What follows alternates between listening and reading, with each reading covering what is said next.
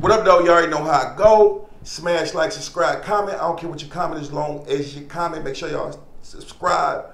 Um, smash them links. Get on Clubhouse with me. Get on Instagram with me. Get on Twitter with me, so on and so forth. Um, but the main ones I'm on TikTok, uh, Facebook main page, Facebook uh, follower page, and um, Instagram. Inbox me. Thank y'all for reaching out to me for the advice. Uh, thank Kakarot for the big girl cash app donations. And that's definitely going to the homeless. Appreciate you, beloved. Make sure y'all go look at those paints I got for sale on my community page and my offer up page, so on and so forth. But let's get straight into this video. You dig? Um, remember I told y'all a couple videos back, you gotta watch who you date in prison and get to know them and know what they were in prison for and what they did, so on and so forth. I remember I made a status about, I made a status about everybody. It, matter of fact, it wasn't a status. It was a TikTok. I said everybody that goes to prison is not guilty. And um, a lady had inboxed me. She said, "Why would you tell my daughter that? My daughter knows she she listens to you, such such such forth. She talking to a guy in prison, and I didn't put enough context details in there, right? Context and details in there, right? I, when I say everybody that don't, uh, everybody goes to prison is not uh, guilty. I meant you got to look up what they were in there for. If you got a CSC, it's one thing if somebody said that he did something that there was really nothing behind, but if you get the paperwork and you do your um, due diligence and your research and get on your MCLs and things like that and look up the case, if it says they found DNA evidence on that little girl, there's no way around that. Okay? That's what I meant. Okay? So, but I told y'all, don't date men in prison unless you know what you're dealing with completely. And then you also have to really get to know an individual to see what their intentions are because when they come home from prison, you never know what they've been through. They could have been in there getting bullied, beat up, all this stuff, and they come out and try to um, inflict that same force that was put upon them in prison. So you never know what goes on with a guy in prison. I'm not saying don't write a guy in prison. I'm saying be very mindful that prison changes people. He might have went in there when he was 17 and you knew him you know, for most of his life, but he comes out as a 40 year old man. You don't know what he endured. You don't know how prison played an effect on his mindset or her mindset. Trust me. But this is a story right here that's crazy. Shout out Kristine Phillips um, with the Washington Post. This is, you know, this happened in Michigan.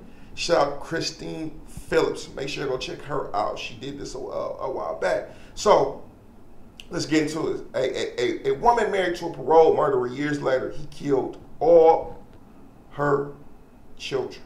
Wow. In 1991, Michigan man Gregory Green stabbed his wife in the face and chest, killing her and the unborn child. Then he called 911 and waited for police to come. After serving about 16 years in prison for murder, Green was released on parole with the support of family and friends, including the pastor who lobbied on his behalf and whose daughter Green would marry. Now, you see what this what Christianity does to you. Sometimes, man, there's no offense to Christianity, but it, it, it'll have you telling everybody you got to forgive and forget. There's some things, bro, you, you might want to forgive, but you're not you don't want to forget. You don't want to become comfortable with it. This dude already been in prison for murdering his pregnant wife. But you got this pastor coming along, black pastor coming along. Uh, we need to forgive this brother. He made a mistake. That's not a mistake. That's a conscious decision. A mistake is when you walk outside and you don't see the ice and you trip and fall. Okay, people tell me in my life, I, I you made mistakes. You know, something. No, I made bad decisions. I didn't make mistakes. They say, oh, you wasn't thinking. You always think your brain working even when you sleep. It might not be consciously thinking about what you want to think about, but your brain is working nevertheless. Okay. Um, so Gregory and I were friends before his mishap, and he was incarcerated. Fred Harris, a pastor in Detroit, wrote to the Michigan Parole Board in August of 2005. He was a member of our church. I feel he has paid for his unfortunate lack of self control and the damage he has caused as much as possible and is sorry. Right? If he was to be released, he would be welcomed as a part of our church community, and whatever we could do to help him adjust, we would. Harris wrote again a year later. Green was released in 2008 and later married Faith Harris. They had two daughters, Coy, five, and Kayla, four. Then came a shocking slaughter. Right, Gregory Green. Look, he looked like he. Uh, early in the morning of September 21st, 2016, Faith Harris Green found herself bound with duct tape and zip ties in the basement of their home in Dearborn Heights, Michigan, just outside of Detroit. Her foot had been shot and her face slashed with a box cutter, prosecutors say.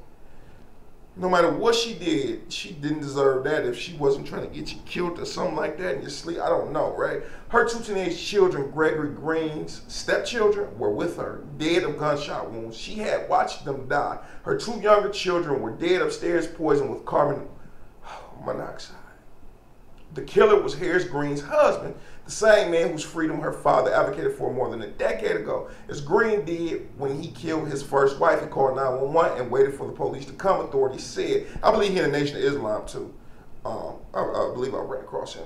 He had just shot his family and they were inside the house. He told the officers Green is back in prison. Last week he received what amounts to a life sentence. He'll be 97 by the time he's eligible for parole, according to the prosecutor's office. During the sentencing hearing, Harris Green, wearing a white turtleneck, spoke to her children's killer. Perhaps for the last time, you're a con artist, you are a monster, you are a devil in disguise, you are now forever exposed, she said as she stood behind a podium in a Wayne County courtroom. Her ex husband in a dark green jail uniform sat stoically a feet away, his back toward her. No punishment will be enough for her children's death, Harris Green said. Not even torture and death would be justice, she said. Your justice will come when you burn in hell for all eternity for murdering four innocent children, all because you're insecure. A spokesman woman of the prosecutor's office said Harris Green has asked to not be contacted by media. She was granted a divorce in December, according to the media reports. When prompted Green to kill his family and why he immediately confessed to it is unclear. He had been found mentally competent. The Detroit News reported last month he um, pled guilty to charges. Green cried as he described what he'd done. Unfortunately, I took the lives of Kaylin Coy, Chadney, and Cara. He said in court, according to Detroit News, I shot my ex-wife. I left my two girls in the car, cars, and Chad shot them. The car was filled with carbon monoxide while the two children were inside. Investigators found duct taped to a muffler of the car. A plastic tube was attached to it, according to the prosecutor's office. The bodies were later moved inside the house. Green also spoke during his sentencing hearing last week. His brief statement was apologetic but gave no explanation of the motive behind the violent deaths. I feel bad for how this deeply impacted everyone and may God help him. Help me, he said in court. Green was denied parole four times, twice in 2004 and twice in 2006, before he was released in 2008, said Chris Gautz a spokesman for the Michigan Department of Corrections. If the parole board hadn't granted Green would have been released in 2012, I don't think that would have changed the outcome, but that's crazy.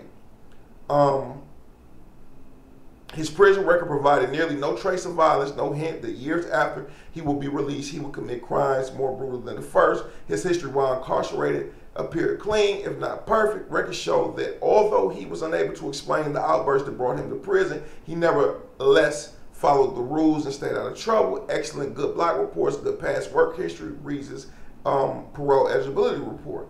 He is respectful to staff and other prisoners, no minor conducts to report, reads another. Green had only one misconduct while incarcerated. He was given a ticket in 2002 for getting involved in a fistfight over television, Gautz said. By the time his parole was granted in 2008, Green had completed educational programs in prison.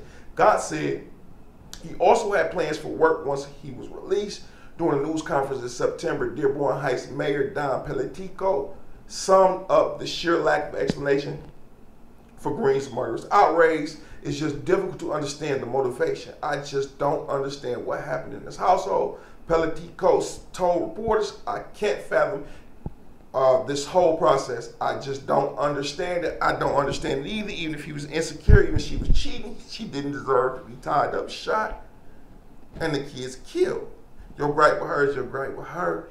But he involved the kids, man. It's some sinister people out here in this world, man. Let me know what y'all think about the story, man. Make sure y'all smash like, subscribe, comment, and don't forget to smash like and comment. I don't care what you comment, long as you comment. Peace.